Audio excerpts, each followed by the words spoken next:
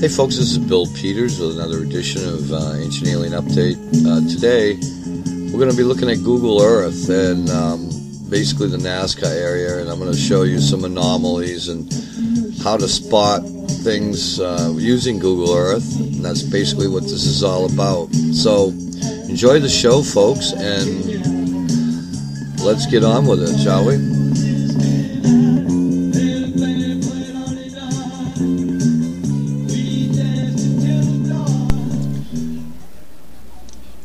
Okay, so hi folks, this is Bill Peters. Uh, first um, slide, we're going to look at these today. We're going to look at uh, Google Earth and this is outside of Nazca, Peru. And if you notice, there's some several very strange anomalies. Uh, as far as the structure of the Earth is what we're going today for.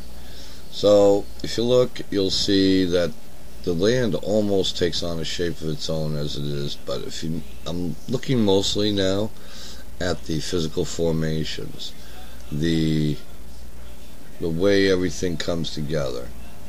You notice there's some anomalies here, as well as um, the next picture, which is right here, coming up.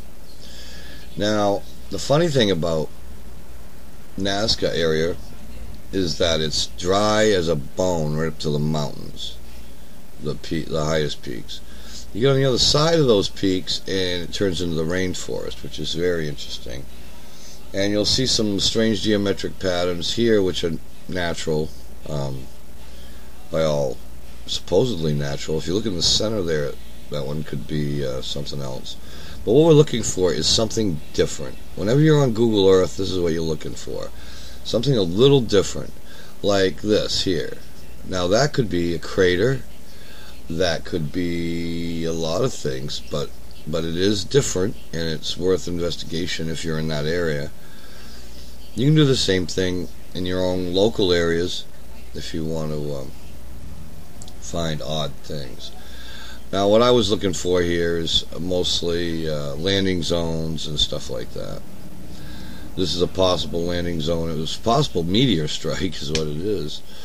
Um, this next one shows a definite strange design up there. Uh, you can see that we're pulled back from that from the one we just saw. That's in the middle lower section, but the rest of it gives you a little better idea. It looks like several craters. Um, yeah, the moon was not the only one that got pummeled like that. Uh, it's very possible we could have craters just like the moon right here on Earth all over the place, and you would not know it due to ground cover, really. Okay, so we're looking for anomalies. Here's one. Um, very strange cut through the rock uh, of Nazca. Uh, I'm staying away from the the pictograms. Everybody's seen those a million times. What we're looking at is the terrain around them. These are some. I know a lot of you are smart enough to figure out what I'm trying to do here, um, as far as picking out anomalies uh, and finding that kind of stuff.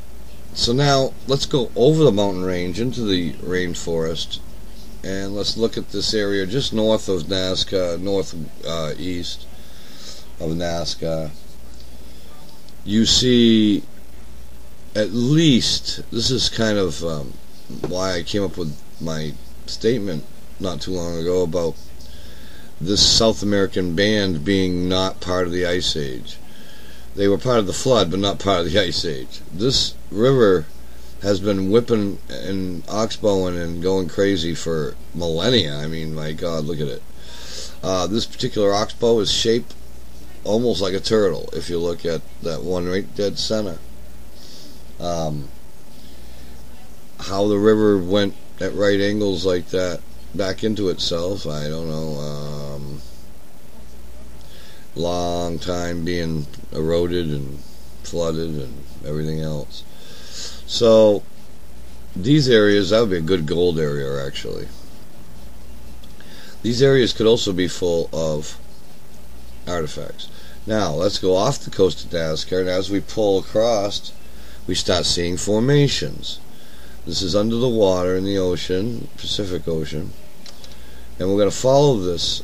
What I from Nazca, it's an interesting rock formation. If you go there and look, under the water it goes and it stays um, a little higher than the rest, and it heads. Here's another version. Notice these conical things that kind of look like pyramids underneath there.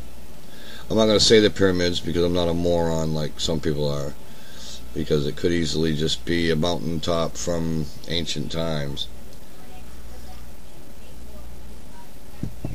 Without eyes on site, um, you wouldn't know. The, by the way, those locations are there on the screen. Okay, now Nazca on the right. If you look to, you see this little bridge and believe it or not, that little bridge, when when the ice age was there, that would have been land. So, according to what I can tell, it looks like you could have walked all the way to um, the friggin' Bahamas, for Christ's sakes. Uh, not the Bahamas, I'm sorry. But um, some of these other islands, like these. Alright, so this is continuing west from Peru. You see interesting, very interesting um,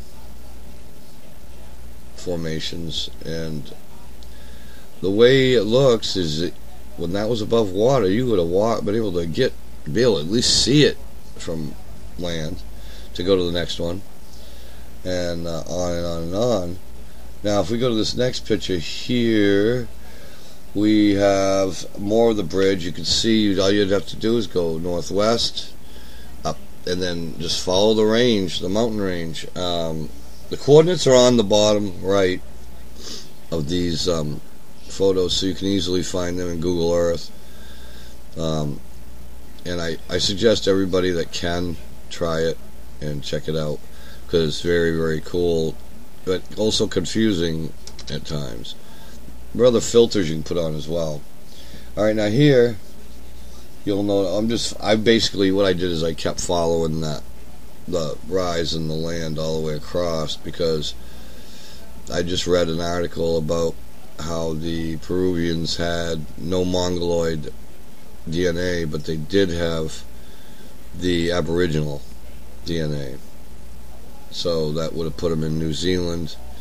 And I did find this land bridge that it would have been mostly up above water, not entirely. And from far back, you see where you end up after all that. You can see that where the land bridges would have been. You could have gone north from there up to the top and such.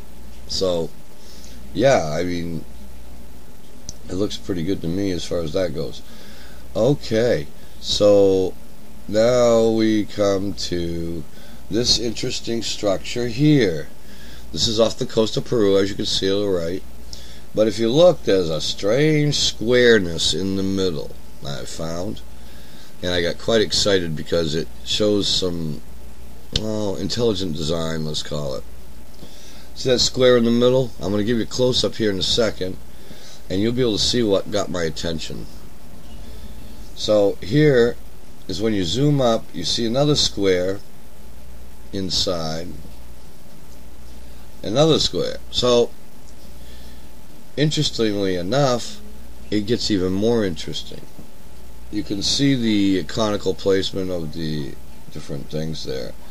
And I forget the, well, it should tell you the depth there on the thing there. Okay, so what we're going to do is we're going to zoom in yet again and look what we find in the middle of that square a pretty well lined up set of those cones and does it line up with the ones on in Egypt the, the, the pyramids of Egypt?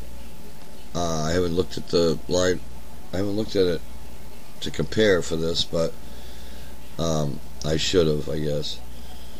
Okay so and here is just beyond that back along the way you can see it's part of that same formation it's just not right in the square you see a perfectly set line of these cones to the lower center left and that got my attention this is what you're looking for out there on Google Earth is these anomalies.